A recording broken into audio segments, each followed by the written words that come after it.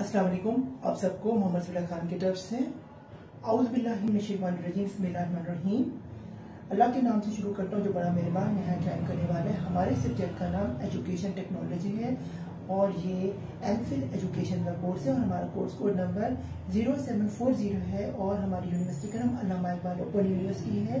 आज dear students हम unit number three को पढ़ने जा रहे हैं, जिसका नाम एजुकेशन टेक्नोलॉजी इन पाकिस्तान है। तो आज स्टूडेंट्स शुरू करते हैं। सबसे पहले आप देख सकते हैं इसका इंट्रोडक्शन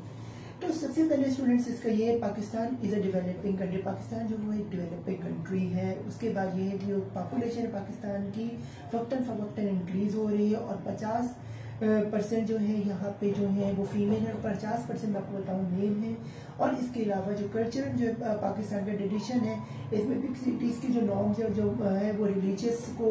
ज़्यादा प्रेफर किया जाता है, बनस्बत जो है, ये जो ब्रिटिश एजुकेशन है, इस सिस्टम को। और 19, 1978 के बाद एक एजुकेशन पॉलिसी में एक रैपिड चेंज आया और एजुकेशन को जो है ये आम किया गया पाकिस्तान में और डेवलपमेंट की गई और यहाँ पे जो सोवर जेनेटिक यानी खुद मुख्तियारी जो है पाकिस्तान की जो है उसे देखा गया और उसको जो है मसरत उसमें तो उसके खिलाफ बहबूद के लिए काम किया गया। बहुत ज़्यादा गवर्नमेंट्स हैं उन्होंने बहुत ज़्यादा चेंजेस लाए तब्दीली लाई इसके बाद जो है एक एक अजीब सा रेवोल्यूशन आता है, वो ये होता है कि पॉलिटिकल चेंज आता है, एक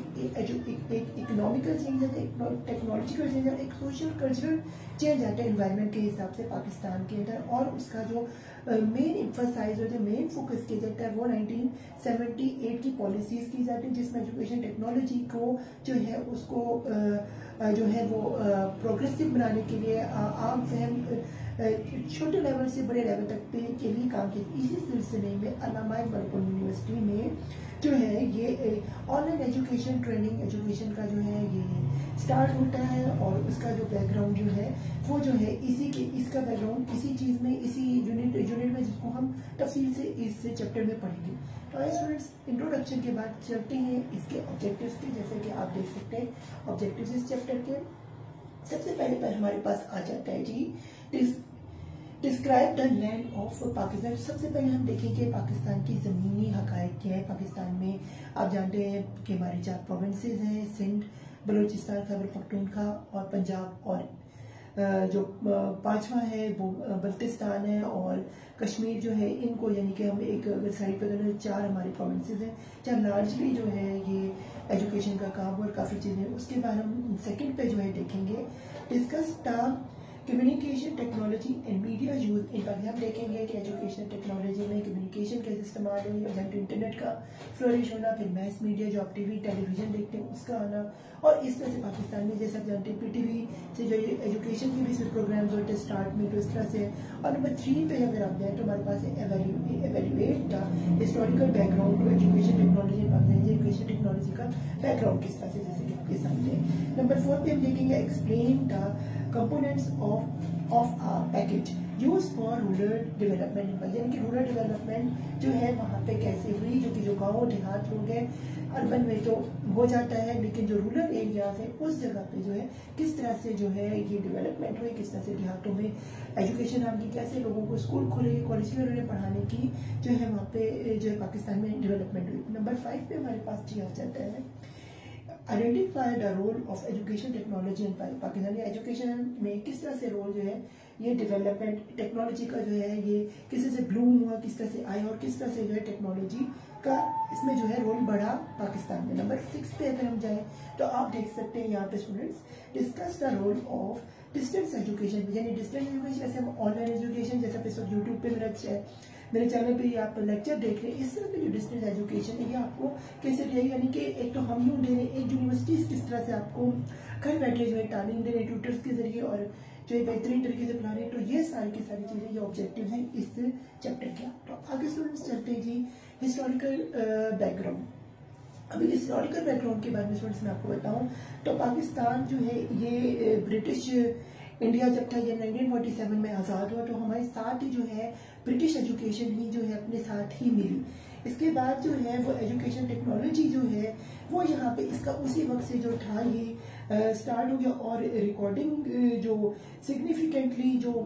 इसकी तब्दीलियाँ हैं, जो एजुकेशनल जो हमें अपने साथ मिला, उसी को यहाँ पे जो है, आगे इन्फोसाइज किया गया। जैसे यूरोप में एजुकेशन टेक्नोलॉजी की अहमियत बढ़ रही थी, इसी तरह पाकिस्तान में वही अहमियत अडॉप्ट की गई और वैसे उसे बढ़ाने की प्रोग्रेशन जो है वो शुरू हुआ और यही इसकी इसलिए इसी तरह इंडिया में इसी तरह पाकिस्तान के पार्टीशन के बाद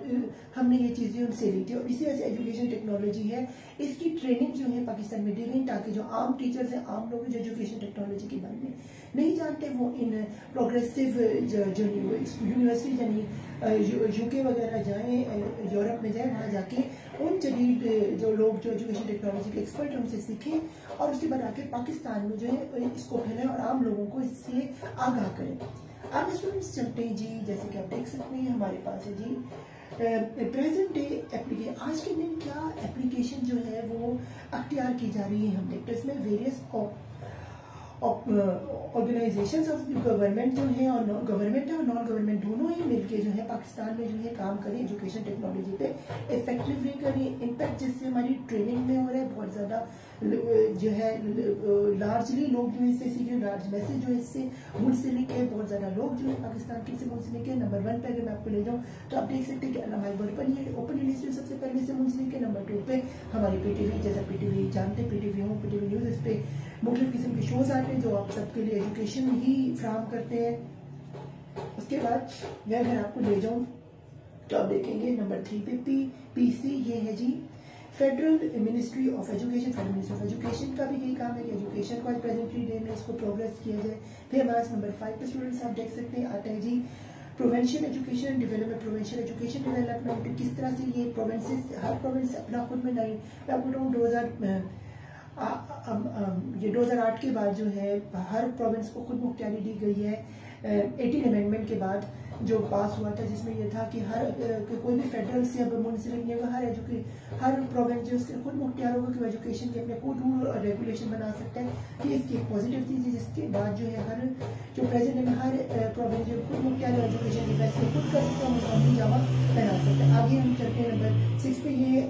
adult literacy centres adult literacy centres आजकल मौजूद हैं कि जो आजकल जो स्टूडेंट्स नहीं पढ़ सके, उनकी एज गुजर रही है तो उनके लिए कुछ ऐसे सेंटर्स किए जाए जिन जहाँ पे वो जाके अपनी एजुकेशन हासिल कर सके और आम लोगों के साथ, चाहे उनके हिसाब से कमतरी जो है वो हिसाब से बढ़तरी जो पढ़े लिखे लोगों में तो उनको बराबर से बैलेंस कर सके, ताकि हम अपनी सोसाइटी को बैलेंस इनबैलेंस ना करें एजुकेशन के अंदर। आगे पास नंबर सेवन पे आता है जी, जैसे कि आप देख सकते हैं नंबर सेवन पे। Literacy and maths education communication literacy maths communication जैसे आप जानते हैं कि एजुकेशन के अंदर जो है इंटरनेट का आना टेक्नोलॉजी का आना, इसके ज़रिए जो लिटरेसी लोगों की बढ़ाई गई और इससे ज़रिए जो है एजुकेशन जो है वो बेहतर से बेहतर हुई। नंबर एट पे जाते हैं तो हमारे पास आता है वुमेन डिवीज़न अब वुमेन जो थी पाकिस्तान में एक ऐसा तबका था जो जेंडर टफ फीमेल जिनको एजुकेशन नहीं दी जा रही थी, उनके पेरेंट्स नहीं दे रहे थे इस्लामिक की वजह से रिलीजियस कन्फ्लिक्ट की वजह से जो एजुकेशन दी तो इसमें प्रॉब्लम ये है कि उनको जो है बड़े बड़े जदीद उलमा है एजुकेशन आए उन्होंने क्या किया वुमेन्स खासतौर पर उठी, उन्होंने कहा, इस्लाम में जो एजुकेशन हासिल करा, मर्द और औरत पे फ़र्ज़ है, सिर्फ़ मर्द पे फ़र्ज़ तो उससे क्या एजुकेशन डिवीज़न बनी और इसमें जो है, आज जो फीमेल है, आज उनको भी आप देखते हैं, उनको भी एजुकेशन के पेरेंट्स जो है, उनको गवर्नमेंट भी पैसे फैसिलिटेट करते हैं। और उनको जो है काफ़ी ज़्यादा जो है रिज़र्व सीट भी उनकी रखी है और उनको जो है फैसिलिटेट किया जाता है आए और वुमेन्स अपनी बच्चियों को पढ़ाएँ, जिस तरह से यहाँ पे है।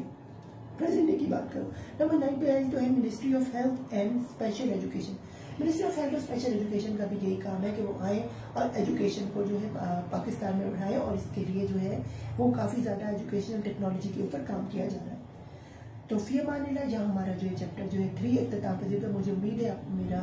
ये लेक्चर अच्छा लगा होगा और ये हमारे फिर का कोर्स था तो मेरे चैनल मोहम्मद सलाह को लाइक करें सब्सक्राइब करें कमेंट करें और इस वीडियो को ज़्यादा से ज़्यादा स्टूडेंट से शेयर करें ताकि वो इससे जो मुस्तफ़ी हो सके, तब तक के लिए अल्लाह हाफ़ मुझे दो में याद रखिएगा।